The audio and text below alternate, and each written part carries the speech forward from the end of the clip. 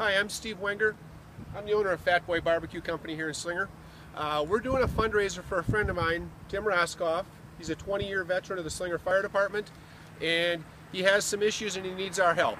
Uh, Tim was diagnosed with a heart condition approximately three months ago and had the uh, open heart surgery and has massive medical bills now and we're trying to help him out. In order to do that, we're going to be roasting some of the best baby back ribs you've ever had big racks, thick, meaty racks, and they've got my, my they're gonna have my signature uh, sweet and sassy sauce. You can get the sweet sassy vinegar sauce or you can get our Not Your Mama sauce if you like it hot. So I ask you, come on out, enjoy some ribs with us.